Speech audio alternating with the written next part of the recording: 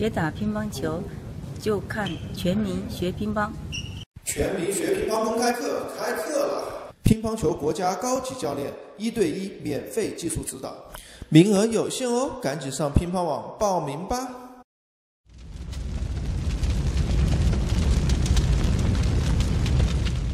好，我们来看一下拼剑舞的这个正手攻球的啊这个视频。拼剑舞的正手攻球没有什么问题啊，打得比较好，就是这个转动收拍的这个感觉啊，不是那么协调，感觉是有一点往上提的这个动作，瞬间这样提过来的啊，感觉这个动作不是那么柔软啊，转的不是那么柔软啊，就这一点点问题，其他的都很好啊。我们再看一下拼剑舞的反手拨球啊，应该他练的是推拨，嗯，很好，练的这个动作啊，很不错。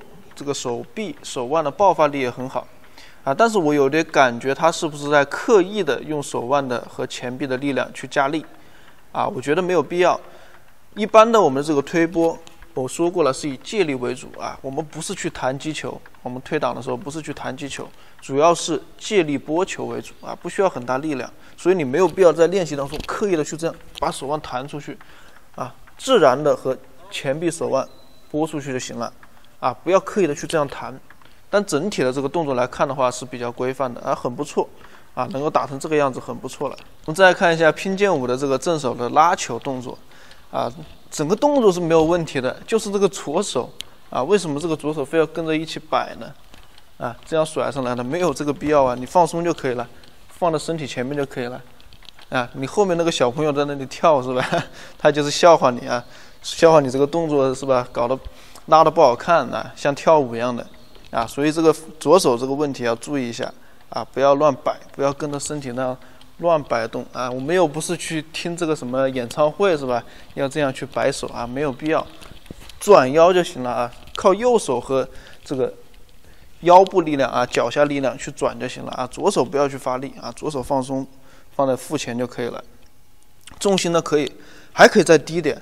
啊，就像我前面刚刚说的，这个重心低到啊球网和球台啊对面的这个端线白线啊重叠的时候，啊这个时候这个重心压的是够的，啊还可以，这个正手拉球拉的不错啊。再看一下拼剑舞的这个反手拉下旋球，啊整体的这个动作起板的动作和引拍的幅度都是很好的，就是有一点为什么呃准备的时候这个人要要跳呢？啊这样不停的晃干嘛呢？放松就行了啊。我们脚下是要有弹性，你准备的时候可以有弹性，但是你不要整个跳起来了，那像僵尸一样的这样跳干嘛？啊，这一跳你反而还原会这个引拍的这个反应速度反而会变慢。我们准备的时候，你看我们这个很多专业运动员啊，比赛的时候准备的时候，他会有一定的弹性，保持一定的弹性，但是球真正来的时候，准备好马上引拍。啊，不可能球来的时候他还在那弹，是吧？弹过来球都下来了，他怎么引拍呢？是吧？